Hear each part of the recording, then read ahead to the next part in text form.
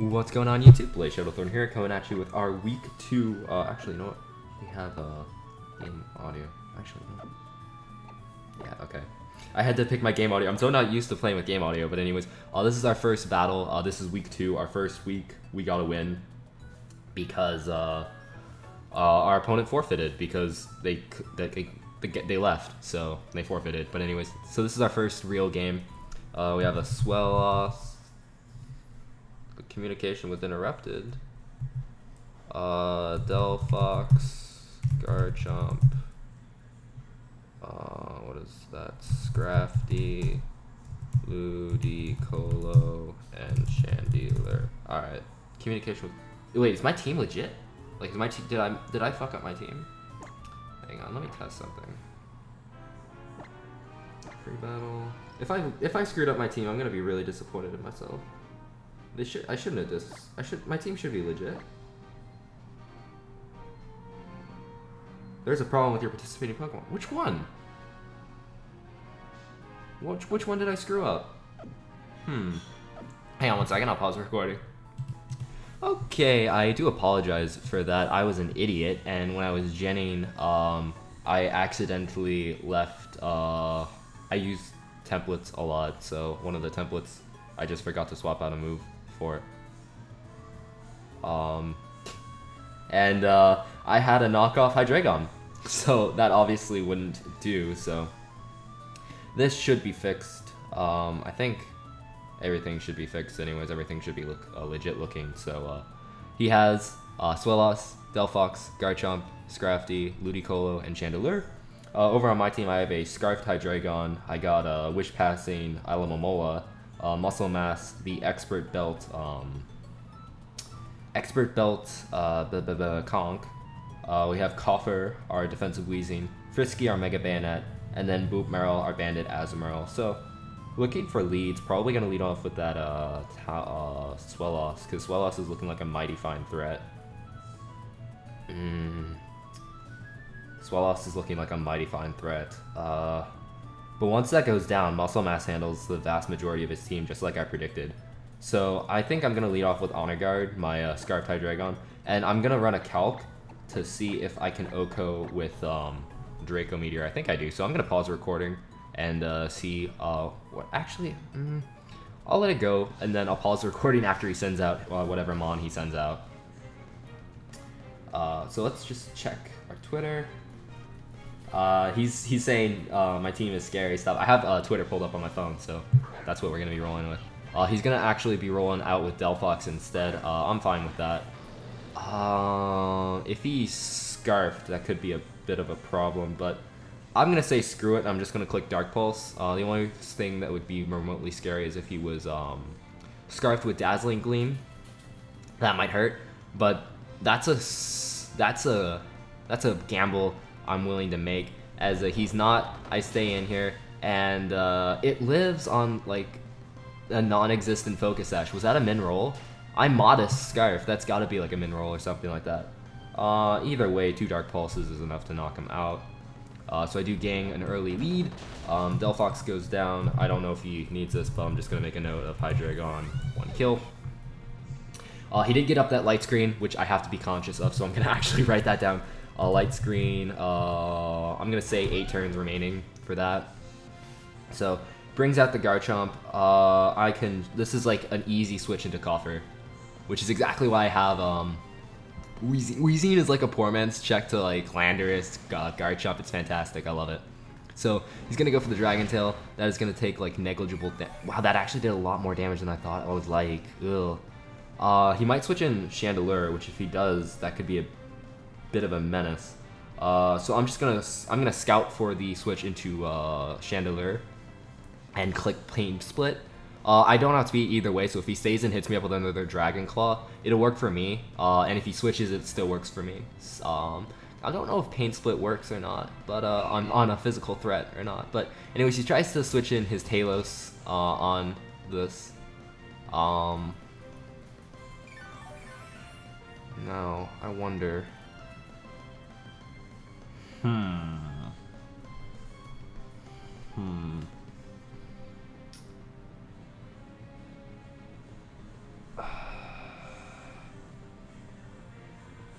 I don't want to risk anything. I'm just going to go straight into Young Fog. I don't want to risk anything. I'm going to go straight into Young Fog and I'll get a Toxic off on this thing. Uh, I'm thinking this might be the one I've seen in the battle he had against, um, it is, the air slash, the weird air slashing, brave birding, toxicing. um, Swelloss is here. Interesting. But Young Fog is here. Shout out to uh, the Foghorn. Uh, light screen is gone though, so we will uh, get rid of that. Um, and then yeah, I'm just gonna click Toxic. Uh, getting a Toxic off on anything on his team would be nice, as he has the same idea. He's gonna Toxic me. That's fine. Uh, I think what I'm going to do after this is I'm going to throw up a wish and then I'm going to wish pass into something. Uh, but yep, getting a Toxic off on this Talos, uh, or Swelloss anyways, is, is, is great. I need I need this in my life. I don't know if this thing's guts or not, but uh, we'll, we'll definitely see. Uh, I know how much damage the Air Slash does, so it does a little bit more. Uh, he Brave Birds here, how much damage it does. Um, I am physically defensive, so we'll see. Uh, I'm going to throw up a Wish right here as he most likely is gonna Brave Bird me now that he has a Guts boost. I don't know what item he is though. This this this Swelloss set is so weird. This Swelloss set is much weird. Um, but anyways, uh, Young Fog just chilling here. Look at that dramatic like pullback. But yeah, looking at his uh, team, um, he's going for the flinches, which I'm. Okay, so if he has as long as he doesn't Brave Bird me this turn, I think I'm primed to switch into my uh, Honor Guard, my Scarfed Hydreigon, and just Dark Pulse again. He does have that Scrafty, which is a Mighty Fine switch in, so I might actually just Draco for something to die. Draco, I think, is my better play. So I am going to pull a switch into Honor Guard right here. Uh, I think he's just going to Air Slash me again. He might predict the Protect and uh, try and Toxic. I don't know what he'd do at this point in time.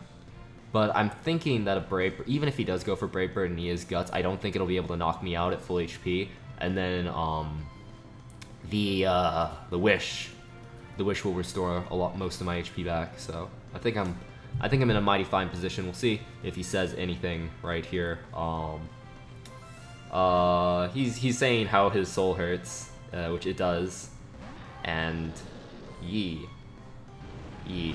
Uh, he is just going to go straight away for an air slash. That does absolutely nothing to Honor Guard. Fantastic, and wish uh, Young Fog's wish came true. Thank you, Fog. Uh, I'll link his channel down in the description below. You should definitely check him out. He makes some prime content. Uh, the Core channel. Uh, he does a couple of draft leagues uh, stuff. Didn't help me prep for this. I do most of that myself. But uh, he always drafts Alomomola, so I was thinking about him when I drafted this. I was like, yee, I'll be like Fog. And uh, Fog is Fog is cool. But if you ever draft um, a Zapdos, you have to name it Fog as well, because that's his mascot. But anyways, just gonna drop a Draco right here. If he wants to predict the um, the Dark Pulse again, or no, he just doesn't predict. He just stays in and Swelloss dies. Which I mean, I'm fine with. Swelloss was, I'm gonna say it was a threat just because it was fast, and um, I don't want it to, to, to handle everything. But uh, that that Hydreigon's just racking up two kills right here. If Hydreigon just like 6 0 his team. Hydra actually, at this point in time, Hydreigon does 6 0 his team. Jesus Christ. Hydreigon, chill. Chill, Hydreigon. But uh, he's going to send out Juan, uh, this thing. I am at minus 2. I don't feel like staying in. What's my switch in, though? I could go into Muscle Mass, but I'm not Assault Vest. I have to remember that. I'm actually Expert Belt because I wanted more power. Uh, but I do actually have Thunder Punch, though. But I'm... I... I'm going to risk him going for Scald. I think he's going to go for Ice Beam, and I'm going to switch in my uh, Conkeldurr. Ice Beam, okay. A little scary, I'm not to lie. Um, don't freeze me. Didn't freeze me. Uh, is he to stay in, though? Oh, I don't actually have Thunder Punch. Oops, my bad. Uh, I forgot. This isn't the weird Thunder Punching one. Uh, this is just a standard one with knockoff. I'm just to click Drain Punch. No real reason not to. He's he's gonna Scald, Why? Do you not know most Conkeldurrs are guts? I mean, I'm not, but most Conkeldurrs are guts. And that damage should tell him that I'm not guts. But it doesn't matter because I can follow this up with a Mach Punch and kill him off. So Conk gets a kill right here. Unless he switches, which I don't think he would switch. Especially seeing how much damage Scald did the first time. What? the hell? Quick Claw. Ugh, I don't agree with that. But Conkeldurr gets uh, a nice cheeky kill right there. God, Quick Claw. Hmm. I haven't seen that competitively used in a long time. I don't I don't know I don't know how I feel about that. I really don't. But um we're we're in the lead right now and Ludicolo goes down. So I guess his best play would to be uh would be to bring in his Chandelure.